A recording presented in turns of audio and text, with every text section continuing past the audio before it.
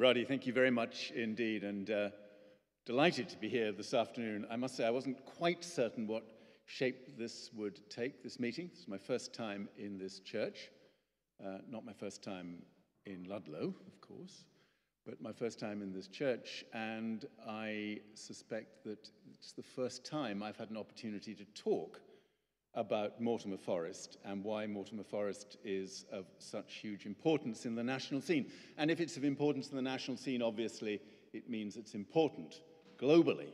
But what I do want to do today is to make the connection between some of these big global issues and what we as citizens do in our own backyards, in our own communities. Because sometimes it's that set of connections which it's hard to really understand the true importance of.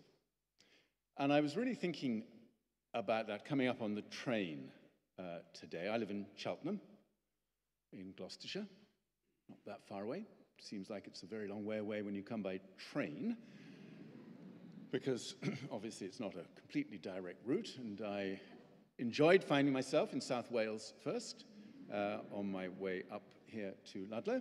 Um, and as you come north through Wales and then into Herefordshire, and you're looking out the train window, and everything is green and verdant still, end of summer, but still looking amazing. And you think, well, this is all right. We know that this is a green and pleasant land. We love the idea that the UK as a whole, particularly special parts of it, are so important to us from a conservation and biodiversity point of view. But many of you will know that although you might be looking out onto great stretches of land that are green, it doesn't actually mean they are biologically diverse. It doesn't mean to say that they are as vibrant and productive and resilient to the changes that all parts of the UK are suffering from already. It doesn't mean that we've got the integrity of the natural world in these places that we should have. And in fact, I was reminded about this just last week when I was uh, reading one of the many reports that comes into my inbox on my iPad, and I feel duty bound to read an awful lot of this stuff. But I was reminded of something recently that was really quite a reminder of just how bad things have got here in the UK. I'm not going to call it a green desert, quite, the UK, because we're not there yet. But there is an index called the Biodiversity Intactness Index, which is supported by the UN, and it does this survey every year of every country. And what it's doing is measuring what percentage of the original biodiversity of a particular country is still intact today. So it looks at 240 different countries. The UK comes 218 out of 240 countries in terms of loss of intact biodiversity. That's bad enough. We're also still going down. So going in the wrong direction, already 218 out of 240, which makes our green and pleasant land, whatever it may look like, one of the most nature depleted countries in the world. It's hard to get our minds around that when you think about it, because we are accustomed to seeing this as a particularly beautiful set of interlocking landscapes. And we automatically assume that means that they are as healthy and vibrant as we would like them to be. But unfortunately, they are not. And the consequence of that is we now need to be infinitely more vigilant about what happens to what is left of our intact biodiversity and what we need to do to restore our depleted biodiversity than we have ever been in the past.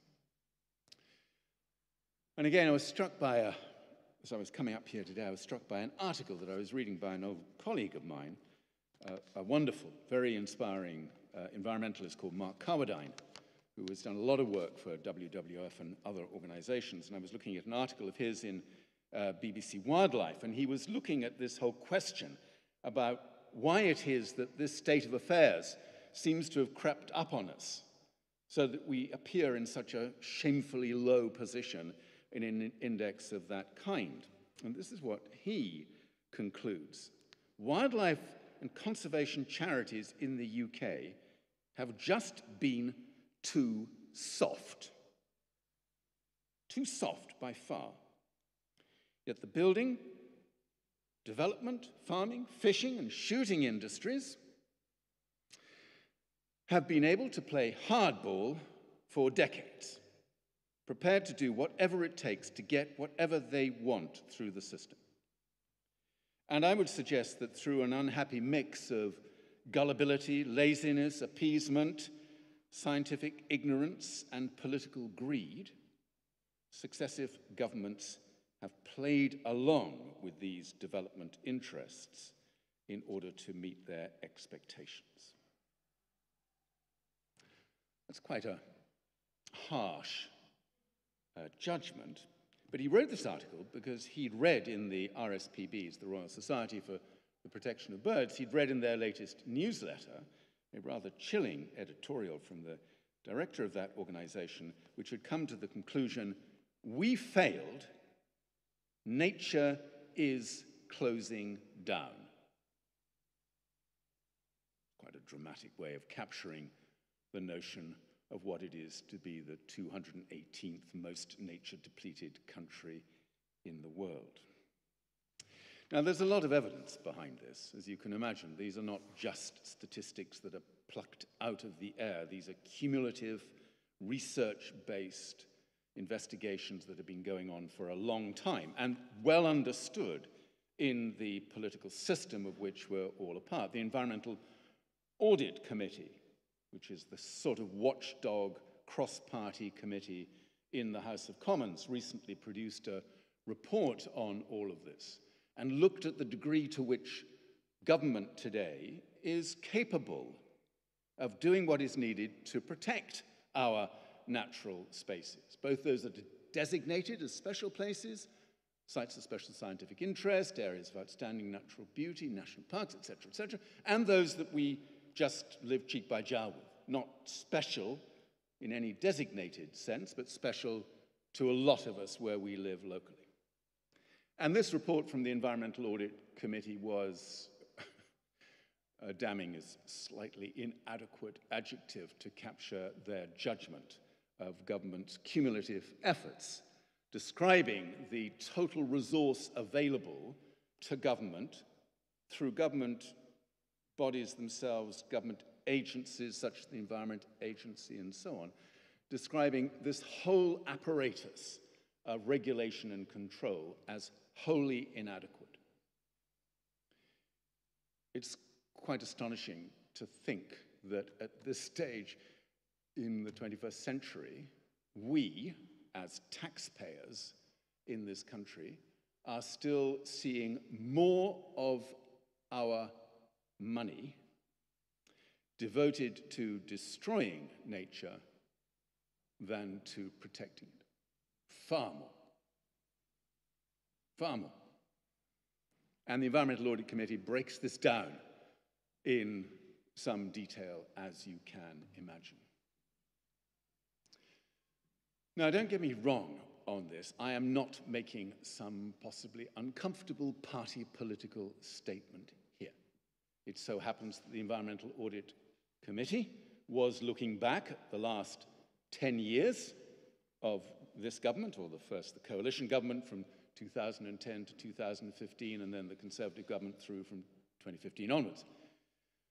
But I can remember reports of an equally critical nature being written about the predecessor government, about the Labour Party when it was in government. And you can track this back pretty much as far as you want to go when we begin to think of the cumulative destruction of the natural world in this way. And one of the problems, of course, is that we've never really seen this as a critical function of our state of government.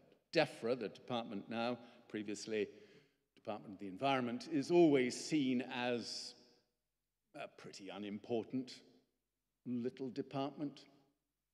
You don't normally get politicians who are on the way up taking over as Secretary of State in DEFRA rather than on the way down.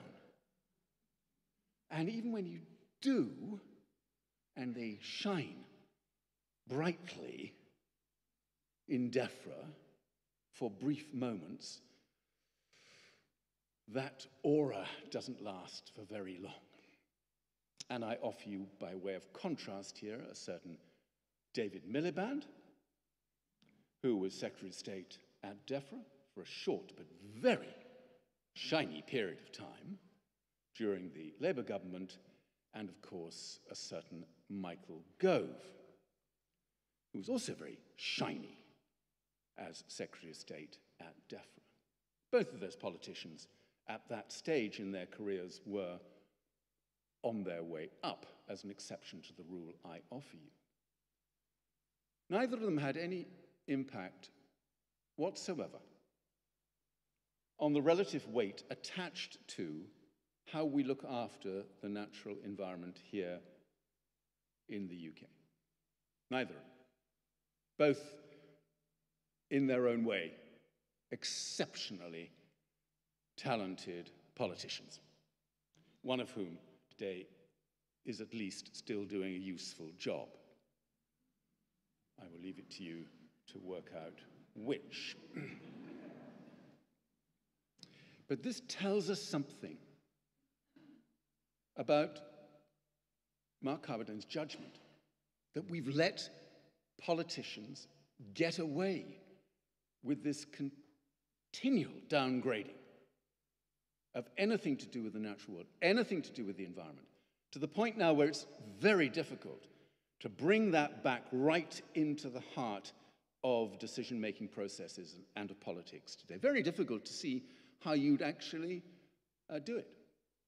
And I could be quite mean, for instance, and ask for a show of hands as to those people in this church today who can actually name the Secretary of State at DEFRA, because very often that is a moment of deep embarrassment whenever one addresses an audience such as this. When there's politicians there, what they love to do is to distract people's attention from the fierce and sharp controversies associated with protecting the environment by pitching the period of time that they're inviting us to think about as far out into the future as is possible. So, Michael Gove, when he was Secretary of State, was deemed to have achieved an extraordinary success as far as his civil servants were concerned by coming up with something called the 25 year environment plan. Because anything that is out there for 25 years or even more through to 2040 to 2050, and I'll come back to target setting as a measure of relative political failure. Anything that is out there in the future means we automatically start discounting its importance to people today. Since that 25 year environment plan came into being, no progress, I do mean no, according to the Environmental Audit Committee, no progress has been made in putting in place those decisions which are necessary to deliver the commitments made in the 25 year environment plan because that's all short term, that's right now. Those are things that have to be dealt with in this period of government, within this budget, facing all of these particular issues and challenges that we face today. And we know those issues and challenges today are really overwhelming. I mean, I must be careful not to be too harsh on our politicians today because we are facing so many difficulties. But if you compare something like the 25 year Environment Bill, which reads beautifully, by the way, as an ex English teacher, I was always quick to acknowledge Michael Gove's facility with the English language.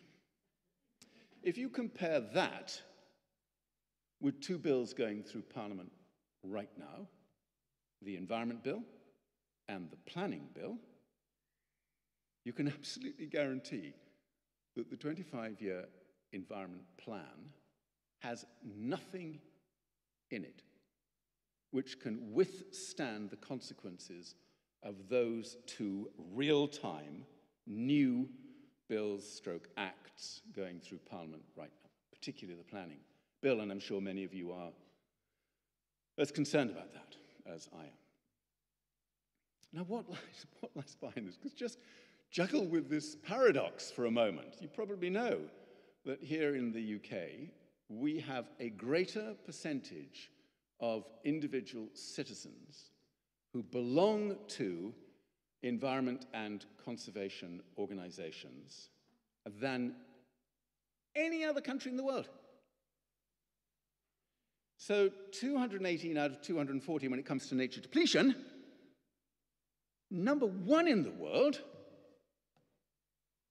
when it comes to numbers of people who belong to organizations that ostensibly are there to protect nature, precisely the thing that is clearly not working out quite as well as we might hope. There's a hell of a gap. Sorry, there's a big gap between number one in the world on membership of environmental conservation organizations and 218 down here.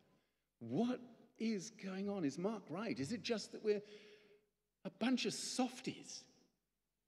That we don't really understand the true nature of the kind of battle that we've been involved in for decades and which is certainly not coming to an end anytime soon? Have we just not got our heads around the ruthlessness with which economic developers will bring their plans to bear on a particular area, even if that part of the environment, that part of the natural world, has to be written off as collateral damage.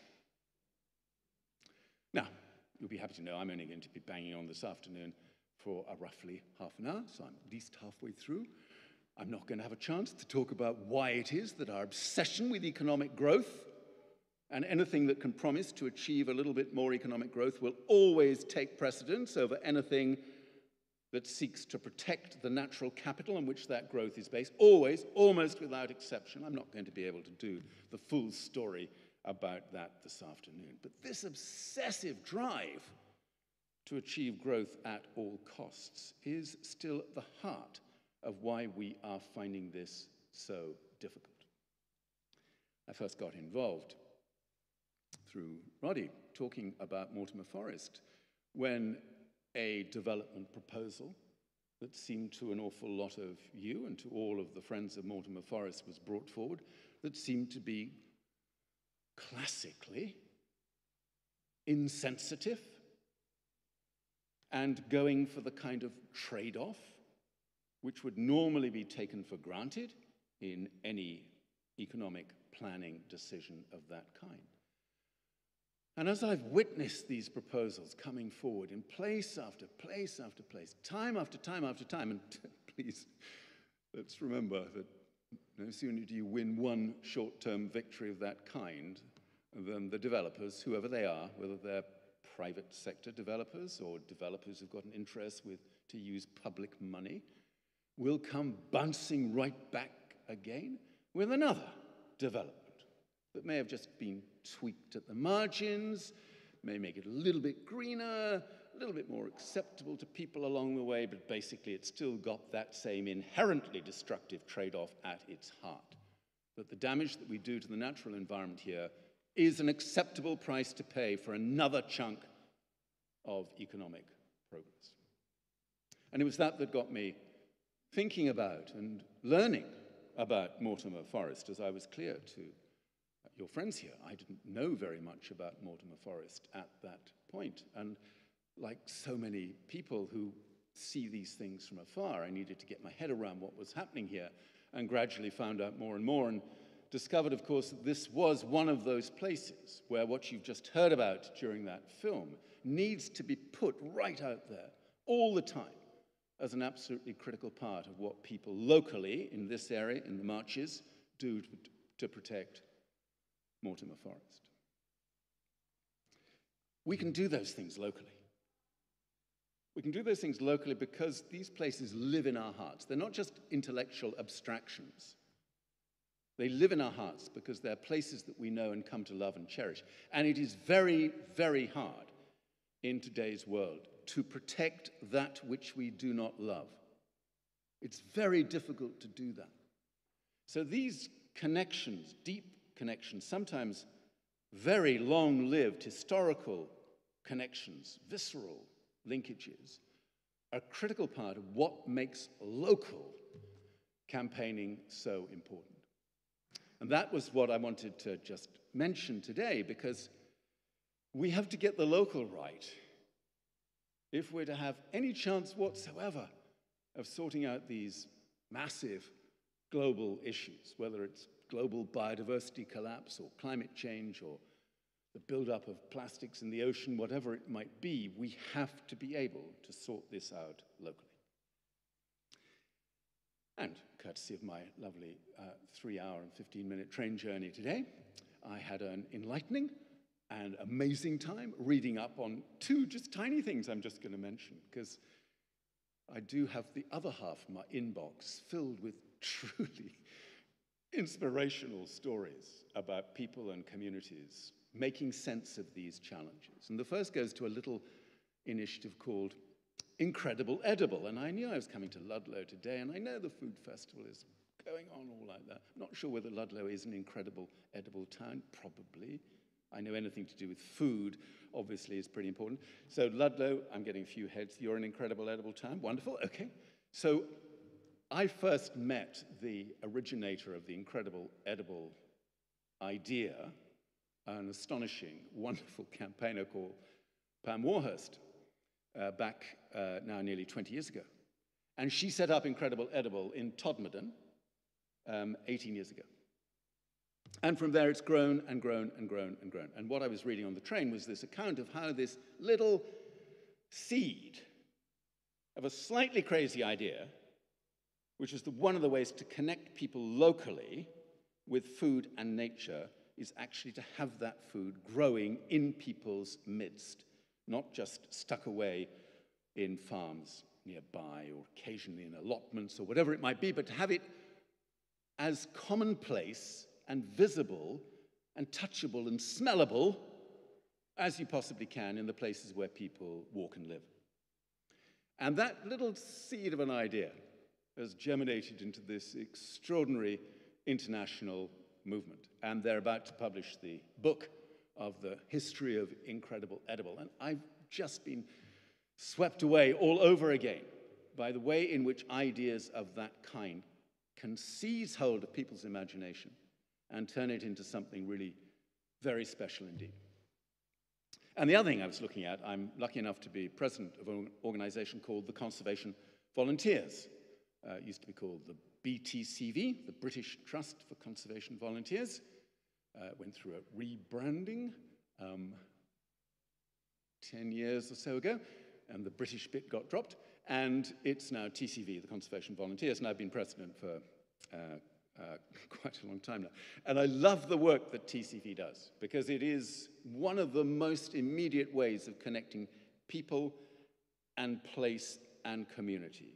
Very often enabling people who have, for whatever reason it might be, had some difficulty in their life, connecting them with the importance of green spaces to bring green spaces back to life or create new green spaces in a way that simultaneously empowers uh, communities, surrounding communities. It's a brilliant and very, for me, very impactful organization. And I was reading through these award nominations because the TCV heroes will be receiving their hero awards at an online ceremony in a couple of weeks' time. And again, you can't help but read this stuff and just get completely swept up in the heroic endeavors of the paid members of staff of TCV and thousands of volunteers. The reason I wanted to mention TCV is that right from the start, TCV flagged the critical importance of being in nature from the perspective of human health, both our physical health and our mental health.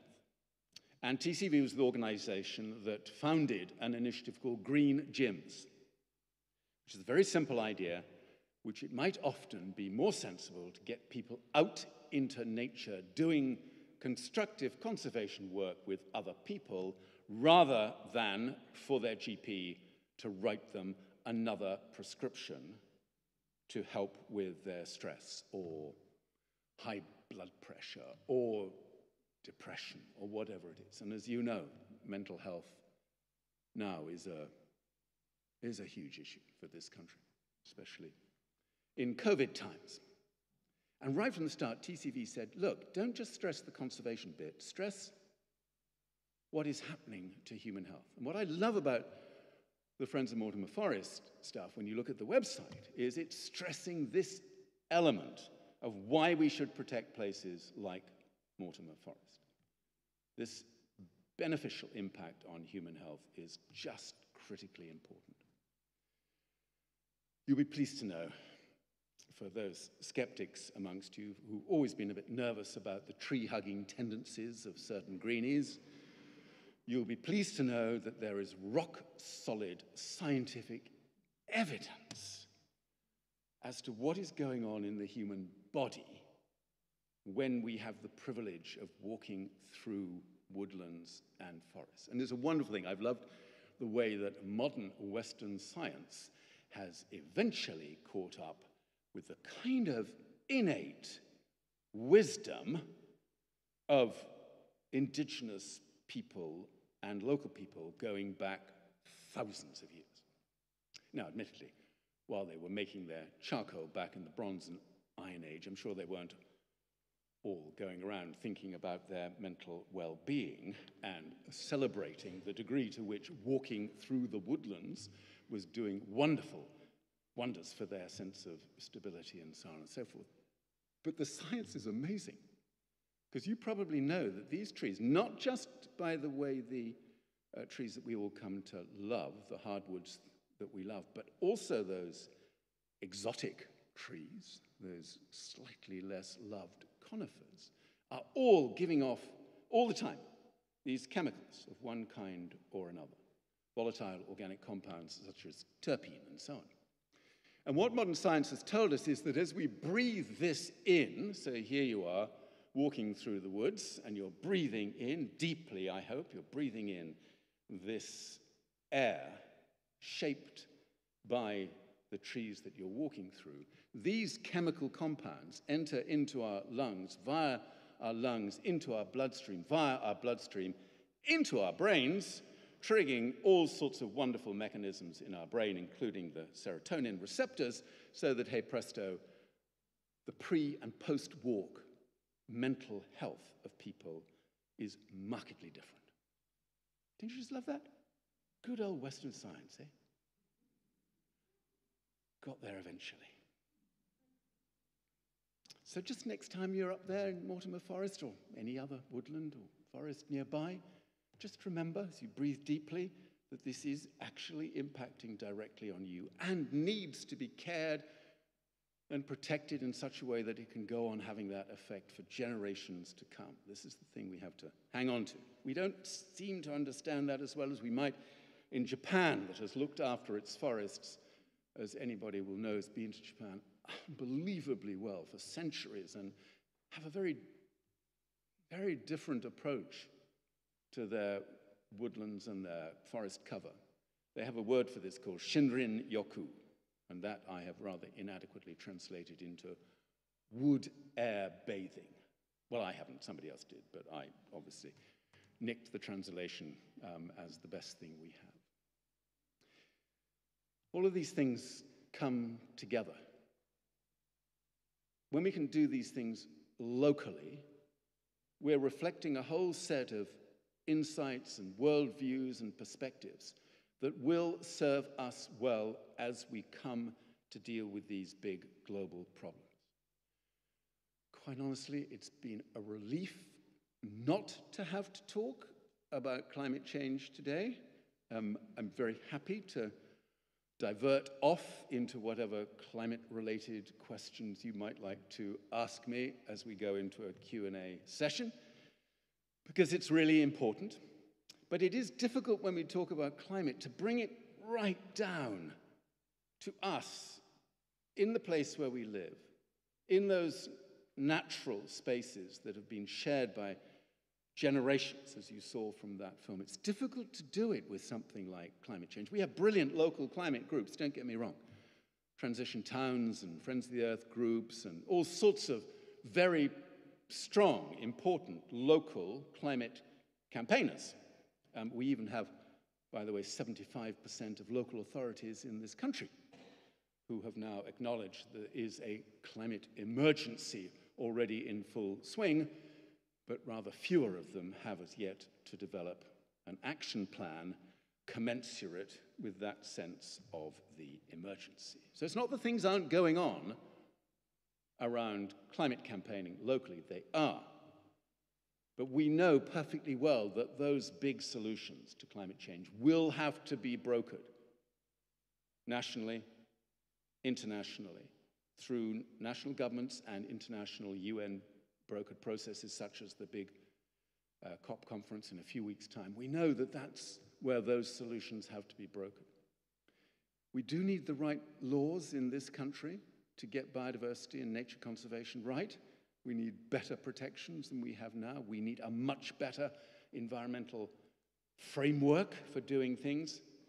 But at the same time, there is so much that we can do locally that we need to hang on to that and do it while we still can. So you saw the final strapline on the film, joining up to Friends of Mortimer Forest. I'm very much hoping there'll be nobody who leaves this meeting at the end of the day who hasn't got it in mind to do exactly that. Um, I'll probably stop. I heard the church bells going a minute ago, and I thought, hmm, that must be half an hour roughly. Um, so I'll probably stop right now. And we are going to do uh, Q&A. We're going to sort of have a little uh, multimedia moment here where this microphone becomes mobile and I'm turned into a sort of walking, talking weirdo up here with something around my ears. Um, but please do think about what questions you'd like to ask and honestly go wherever you want. I'm used to Q&A sessions having a life of their own. So um, over to you.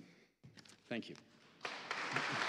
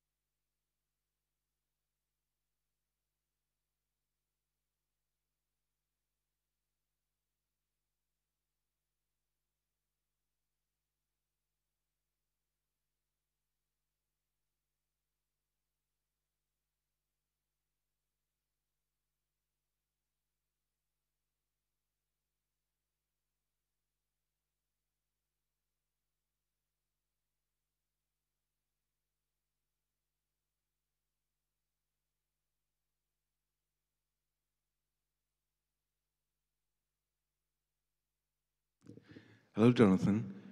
It's a bit loud. Um, I followed your, uh, I won't call it a career because it's not a career, but uh, I've followed you since the 1980s when you were on television all the time. Do you think that if you joined a mainstream political party, that you could have achieved more?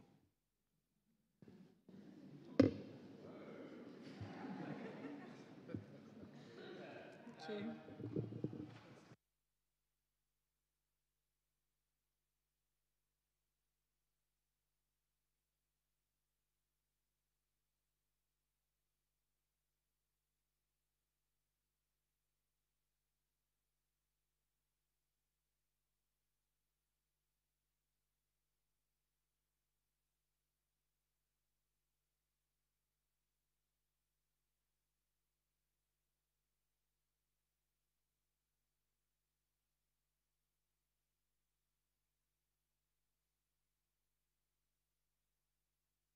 Okay. So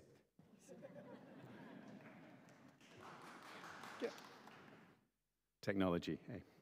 Um, yeah, so I joined the Green Party in 1974, and I am still a member of the Green Party. And obviously, the question relates to would I have been able to make more of an impact had I joined a, a mainstream political party? And I was obviously thinking about this the other day, as you can imagine, when two colleagues in the Green Party in Scotland joined the government of Scotland as ministers in this government, junior ministers in this government. And that's a, that obviously here in the UK is the closest that the Green Party has ever got to the business of governing. Caroline Lucas, our Green MP for a long time, has been very influential, hugely influential through Parliament, but clearly as a minority party with our insane first past the post electoral system, you can get to be influential, but you can't get to be powerful. So I have thought about this um, from time to time. I don't honestly regret it. I, I really don't regret it because when I look back to 74 and I look in particular to 1979 when I wrote the Green Party manifesto, in those days you could sort of get away with that kind of thing, um, wrote the Green Party manifesto, and I had reason to visit it recently, which was quite a, quite a moment. And I just thought to myself, okay, this isn't just that the world has moved on, but so many of the ideas in the Green Party in those early days have become very mainstream ideas now. So there are many, many different ways of achieving influence. And I feel that on balance, I've been able to do, I hope, um, quite a bit without becoming uh, a member of and then a, presumably, a, if I was lucky, an MP for a mainstream party. But thank you for the question. It's a bit late now.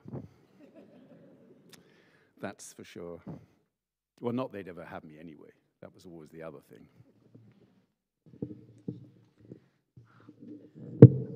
Hello, Jonathon. Uh, I'm shouting. I didn't mean to. Um, I was radicalized by Hilda Murrell, who is an uns un unsung hero living in Shropshire before she was murdered in, in uh, 74, 84.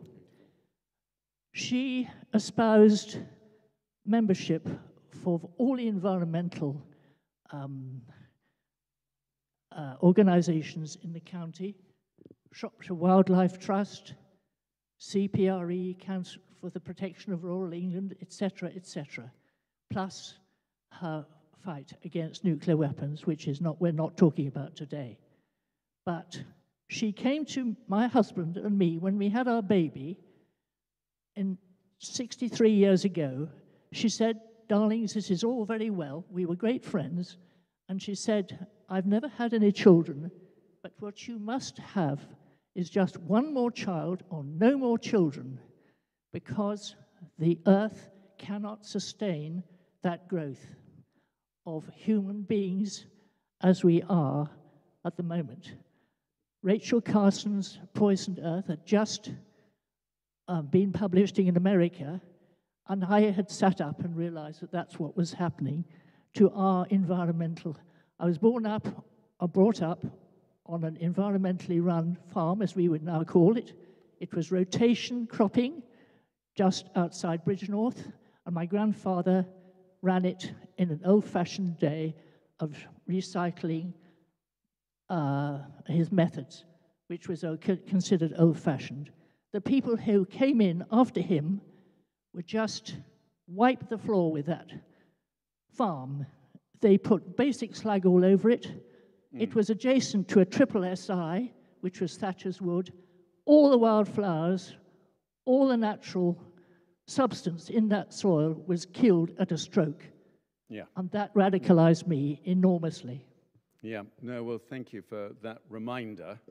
Um,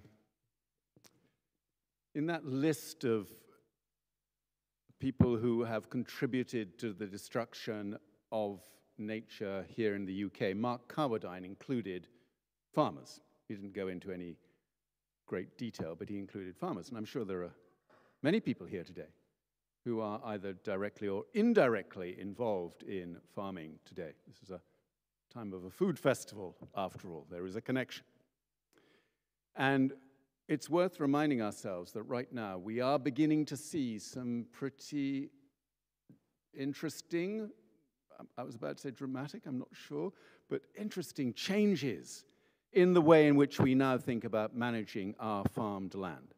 And I had the privilege on Tuesday last week of visiting a place called Knepp, K N E P P, which is the place where they pioneered a lot of what today is referred to as rewilding, which was an extraordinary experience, I have to admit. Not necessarily the right way to go for everywhere in our farmed landscapes around the UK, very much not the only way to go, but a really important addition around other things such as organic farming and agroforestry and whatever else it might be. We could now see a really smart way of rethinking land use to secure biodiversity outcomes as well as the kind of contribution to food production that we need. We really could. There's no question about that, that we could do that. Um, and I hope we do. The environmental land management payments could be crucial in that. Um, the deeper and more controversial point that you raised, which I will just touch on very briefly, was, of course, population.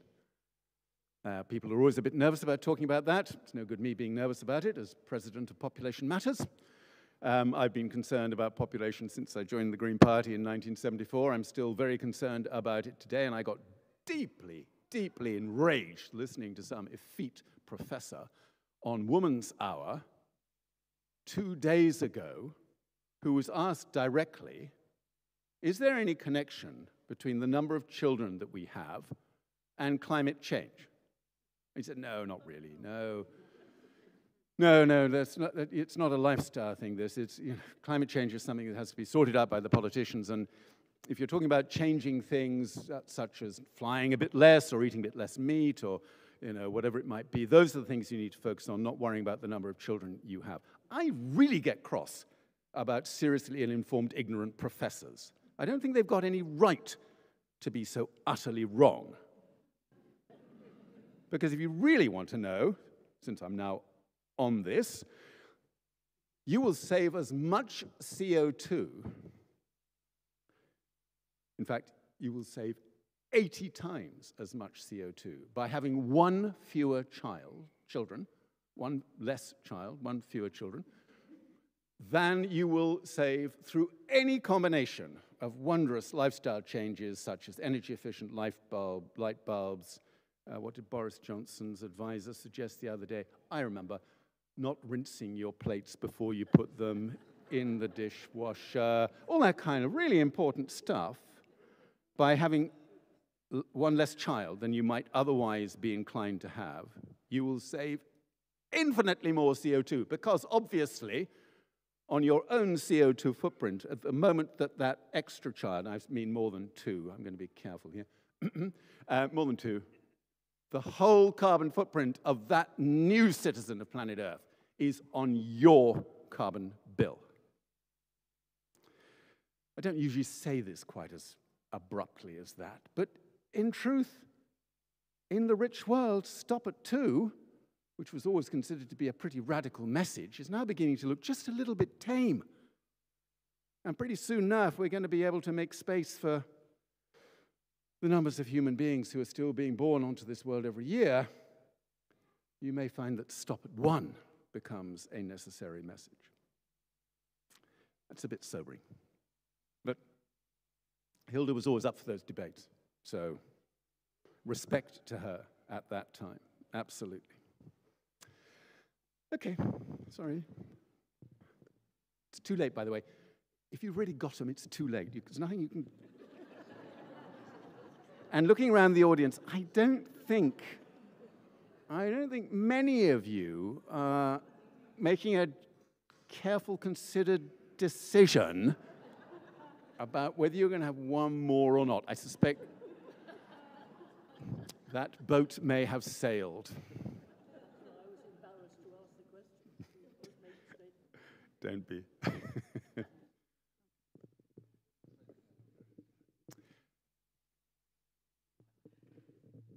thanks, and thanks for the, the what, what, you said about in the rich world, the young people should be thinking about having less children. Um, it's really important, isn't it, that the uh, the cultural aspects of it. And I was really struck with what you said about. I didn't know that about Britain being right at the top of membership of conservation organisations, but really near the bottom of, of what we're doing. And I've got a meeting in a couple of weeks with my MP. I'm, I'm not local to here, and congratulations what you're doing here. It's fantastic with Mortimer Forest. But Jonathon, what advice do you have for me about what I should say to my MP? I want to ask her to support the climate and economic emergency yes. bill. What shall I say to her? Got it in one.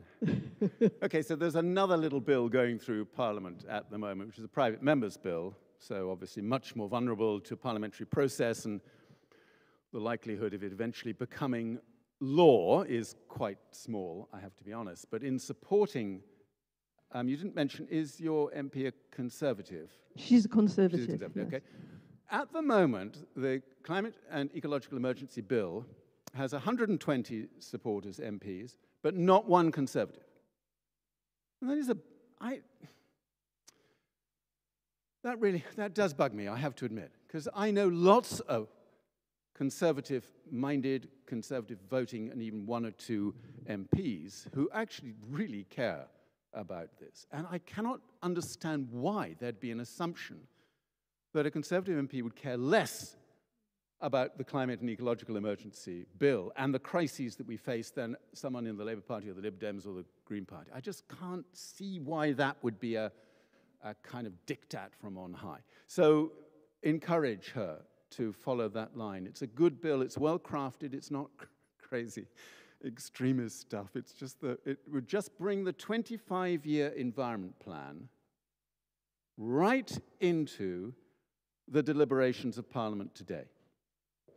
So instead of this very cynical shoving out of these timelines for 25, 30, 40 years, it brings all of that stuff right into what we need to do today. Thank Good luck. You. Thank you. I wonder if the Future Generations Bill, the, the Act in, in Wales, can help with, with those deliberations. Yes, actually, thinking of the marches, I really should have been more on that one. Thank you. There is a bit of Welsh legislation which is world beating, and everybody interested in this area loves saying that because there aren't necessarily that many. Um, but this is the Well-Being of Future Generations Act, which became an act in Wales help me out here, six, six, seven years ago, um, was slow to start, now is really impactful. So any new process going through the Welsh Parliament has to explicitly take account of what the consequences of that bill, act if it's passed, will be on future generations. And you can't, you can't avoid that process. You have to think it through, you have to debate it, you have to think about it. So for me, that's a really good process. There is a, well-being of future generations bill also being raised as a private member's bill in the House of Lords at the moment, um, which would help.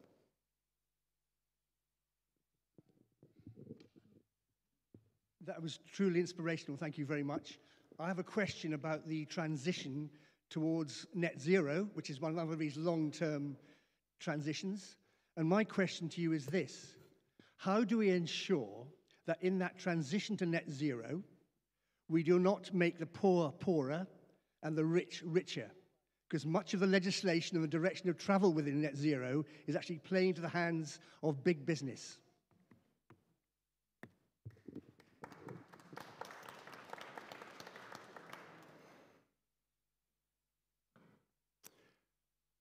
There's big business and there's big business.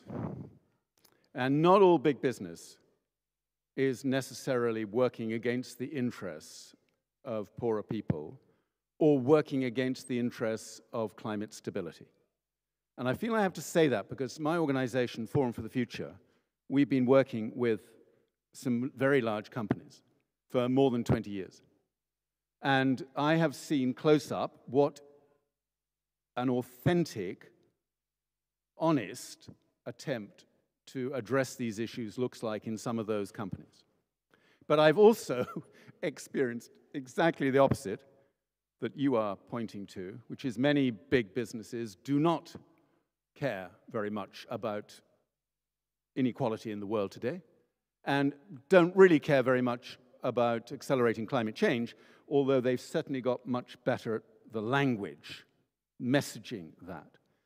So, as with all of these things, we have to be really sensitive as to how we take this forward. I would not want to rule out the role of big business in helping us arrive at a net zero world. And just to remind you what that means, by the way, because it's a bit, relatively new bit of terminology, I was just reflecting on these 75% of local authorities here in the UK who declared a climate emergency. At the time they did that, most of the language was about carbon neutral. And now, suddenly, in the last two to three years, we've all gone to this new terminology called net zero carbon. And net zero means that the total emissions from a given area, so it could be the global economy, or it could be Ludlow, or it could be your own Householder, that the net emissions of that unit must reflect two things. One, you reduce your actual emissions of greenhouse gases as far as you possibly can, and then you commit to drawing down as much CO2 as is needed to compensate for the emissions that you're still responsible for at that stage. So net zero. It's very difficult getting to full zero. Really difficult in the short term, if not impossible. Whoa, those kids, eh? Very good. Um, just reminding us what this is all about. So, net zero by 2050, they won't be making as much noise as that because unless things are moving onto a very different direction very soon, it's not a happy prospect for 2050, as you know. The reality of it is that we're beginning to understand what this actually looks like now, this journey to get to this ultimate point where we can still, I'm not going to use the word guarantee, but we still have a reasonable prospect of a sufficiently stable climate. Do you see how careful I'm being in my use of words? A reasonable prospect of a sufficiently stable climate that the future of humankind could still be a good one. That's basically what we're hoping for now. Our best bet for the future of humankind is a reasonable prospect of a sufficiently stable climate. And the reason for that, as you will know very well, is that we have cumulatively put so much of these greenhouse gases, the CO2 and other gases, into the atmosphere that we've already created a warming effect that will last now for um, a very, very long time indeed. So I'm really resolute in ensuring that we bring social justice into that because there won't be a solution or a set of solutions to that problem if we don't attend to the needs of those who have not been beneficiaries of the last 50 years of breakneck, growth driven development, not only in the rich world, as you know, but in countries like India and China, where there's been huge amounts of uh, new development over the last 20 years. We have to attend to that social justice aspect at the same time. It goes under the terminology of a just transition. And every time you hear people talk about a net zero future, make sure that they include the element of equity, of social justice in what they've got in mind.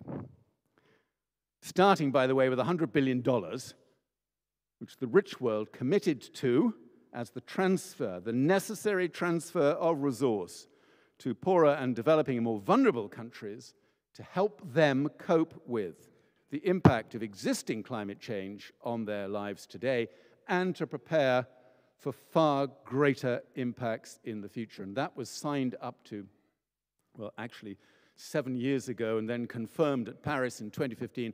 Transfers so far? Phew, dear, oh dear. I must stop throwing out these rhetorical challenges because you can pretty much guess it doesn't resembling anything like 100 billion a year, just in case you're in any confusion about that.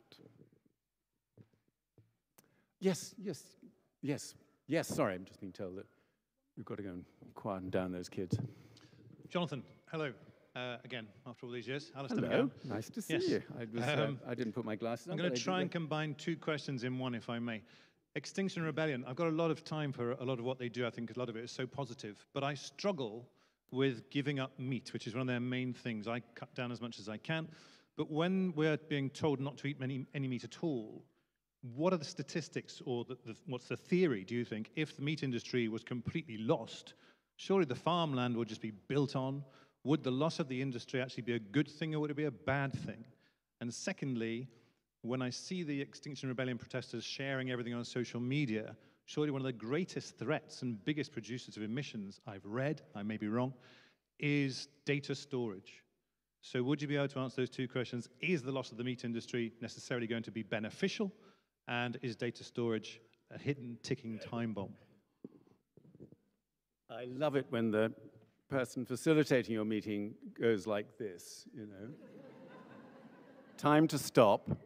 Let's just have one more question, and then you have one more question. And of course, it's a question which cannot be answered easily in quite a shorter period of time, as I suspect uh, you would like, Robert. I'm sorry about that. Um, but Alistair, thank you. And by the way, uh, if I may, thank you for all your years of support for environmental causes, which has been enormously um, important. It's been fantastic.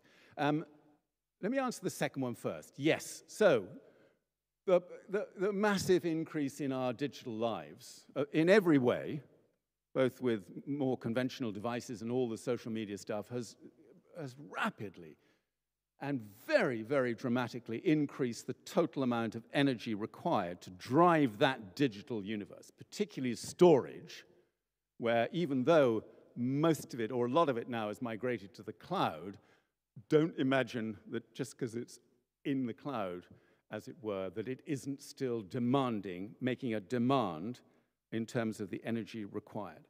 There is a technical solution to that, and the technical solution is that we move, of course, to renewable electricity for everything, not just for energy generation, for transport, for certain uh, other industries, but we will need to move to 100% renewable electricity for all of our digital dependencies. And to be fair to a group of companies that I otherwise utterly despise, uh, namely Google, Apple, and all those other shockers, um, to be fair to them, they are moving faster to 100% renewable electricity than any other sector in the world. So there is a bit of a way out there. I won't go any further on that one. The second one on meat eating, I know. The second one, because you're about to be ushered out, by the way, to make a choice. And as I understand it, your difficult choice will be are you going to have a venison sausage or are you going to have a vegan sausage? And I'm a bit worried that my answer to this question may influence the choice that you make. and you may run out, therefore, of one or the other. Um, look, for me, this is actually more simple than most people think that it is. I'm not a vegan. I'm not a vegetarian. I'm a massive supporter of the eat, brackets, a lot, close brackets, less meat, which is the line taken by an organization I am very proud to be associated with as a patron, Compassion in World Farming, which has argued brilliantly for decades now to get rid of all factory farming, to just put an end to the horror story inflicted on 17 billion animals. It's almost impossible to imagine this 17 billion animals around the world. To get rid of that truly repugnant uh, exercise of cruelty over other living creatures. And that's the line I take. And when I went to Knepp, which I mentioned, so I'll throw this in, as some of you may know about Knepp, Knepp has lots of wondrous looking livestock wandering around doing brilliant things in this rewilded environment. So the Tamworth pigs, for instance, just gorgeous. The longhorn cattle, the venison. Oh, you know, you think, actually, what is wrong with that?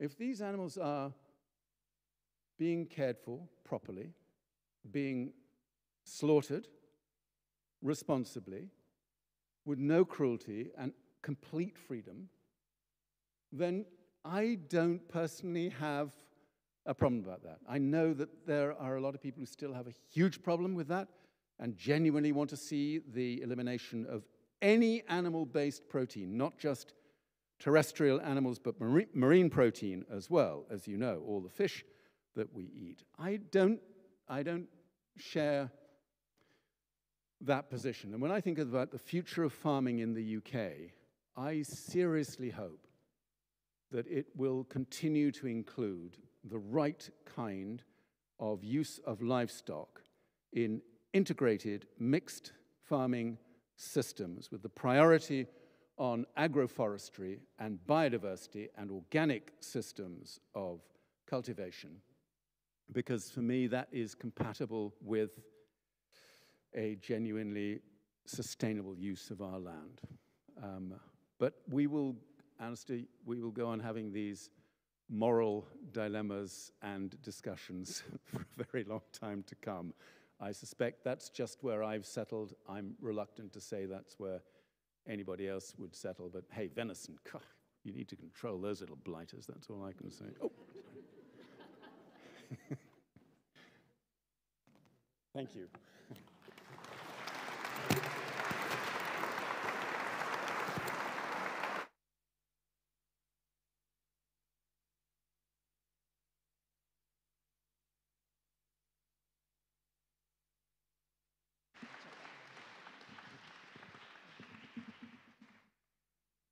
Good afternoon, everybody. Uh, I'm Robert Owen, and I'm one of the trustees of the Friends of Mortimer Forest, and I'm here to say a very, very warm thank you to Sir Jonathon for an absolutely brilliant and challenging and inspiring address for us as members of the Friends of Mortimer Forest. Because fighting against the collapse of biodiversity is right at the center of what we're all about.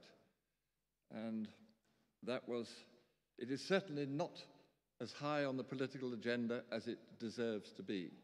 I mean, climate change is creeping up there now, it's getting more attention, but the biodiversity emergency is still right down there. Uh, and I think everyone probably here feels the same, and that, as I say, is absolutely central to our endeavours uh, in this new charity. Um, I was also, in that context, I think it's worth mentioning, we talked about different parties and all the rest of it, that uh, it so happens that your local MP here in Ludlow is the chairman of the Environmental Audit Committee, uh, which you uh, mentioned, Philip Dunne, uh, who is also a very strong supporter of, uh, of the friends of Mortimer Forest. So, and we are, enjoy a lot of um, support from him as well. I was particularly happy at your mention of mental health as well, because that is another big aspect of what we are trying to do uh, as the Friends. Uh, develop activities which will enable people with different kinds of disability, particularly mental disability, uh, to benefit from the uh, therapeutic effects of the forest, which we all agree with. So thank you again for an absolutely brilliant speech, from a, not only from a UK point of view, but from a, from a global point of view. I'd like to thank the questioners too. Uh, some very good questions there, and I uh, think that enhanced the event considerably. So, and thank you also to Roddy Swire for presiding over the proceedings so effectively. And can I also say thank you to Sir Neil who is with us here, who is another of our patrons, uh, our distinguished patrons. And also a strong supporter uh, in the form of Sebastian Bowen, who is also there, who is the chair of Herefordshire Council. Um, and I would also mention, if I may, um, Colin Richards, who is our chairman as the uh, chairman of the Friends of the Mortimer Forest, um, who, for whom I am standing in, um, who was all set to be here and would be speaking instead of me if he had not been diverted by a particularly crucial family event. That you saw him, uh, which, which took, came up at short notice. And you saw him in the film, however, and he is uh, deeply involved and has played a crucial part in getting us to where we are now. And a special vote of thanks also uh, to Kelvin Price, the rector of Ludlow, for allowing us to use this spectacular building. Um, and, and to Peter Neild, who you saw earlier, who was played with his colleagues um, from St. Laurence's, an enormously important part in all these arrangements, which have included, um, as I think he mentioned, getting the event recorded, and it will be available on the websites of both St. Laurence's and um, the Friends of Mortimer Forest. So please tell your friends if they wanted to be here but weren't able to, that they can uh, experience the event um, retrospectively in their sitting rooms, although they will have missed out on, on the sausages, I'm afraid. Uh, uh also, uh, the event will be on YouTube for a period of about uh, four weeks, I believe. Well, our membership has grown very rapidly in a very short space of time uh, and I'm sure it will receive a further boost from today's event, which will be the first of many.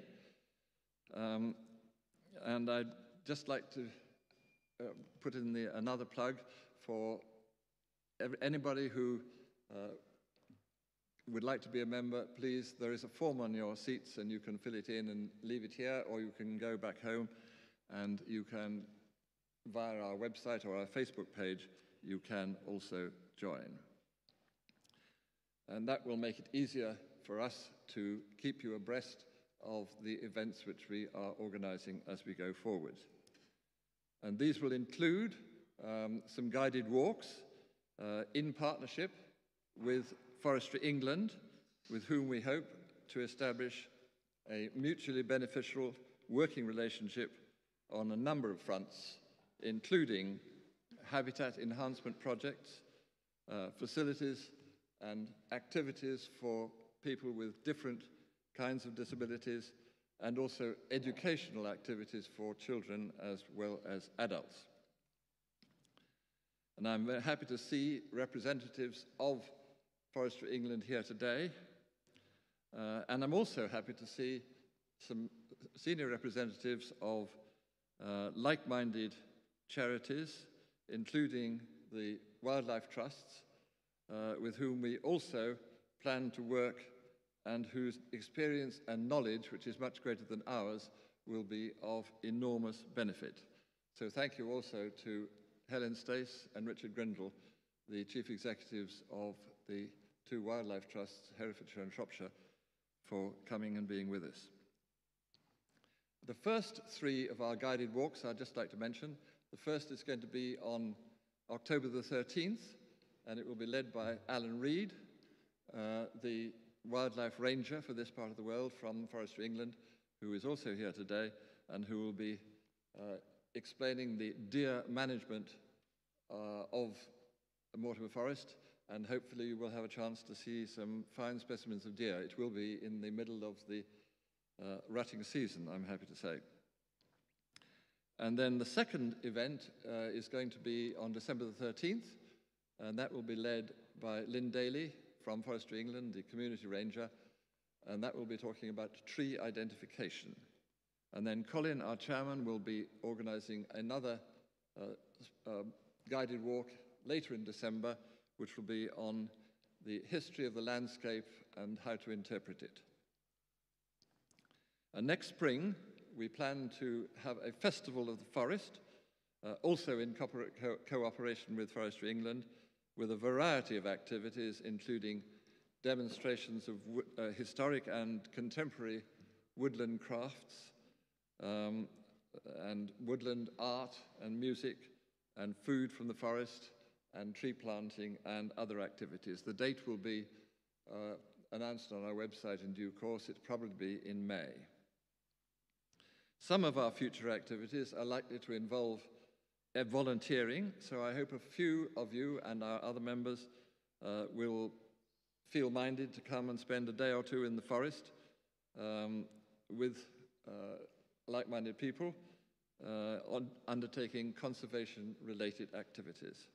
I can assure you that they, we, shall, we shall make them fun for all concerned. So we're, at the start of a, an exciting journey, uh, and I hope to see many of you uh, as we move forward with our plans. Um, it is now there is, I believe, there are, I believe, a number of sausages and still left. Uh, by the way, I should, I should uh, assure you that venison is the most uh, sustainable meat you could possibly eat. And you're actually doing us a favor because, to be truthful, we've got rather too many of them in, in Mortimer Forest. So please come and eat some sausages and enjoy a bit of wine. Finally, before I, lay, uh, uh, I finish, I'd just like to mention one other thing, which is not directly related, but uh, if you don't know, uh, there is the Pilgrimage for the Planet, uh, which is taking place uh, leading up to the COP um, conference in Glasgow. And the, the, marches will be starting from Castle Square in Ludlow on the 15th, which is sometime next week. So if you didn't know about that already, look to their website and I think Pamela is here, and she will. Do you want to stand up, Pamela, and just let everyone know who you are? That's right. Yeah, lovely. Okay. Thank you all. Sorry. Uh,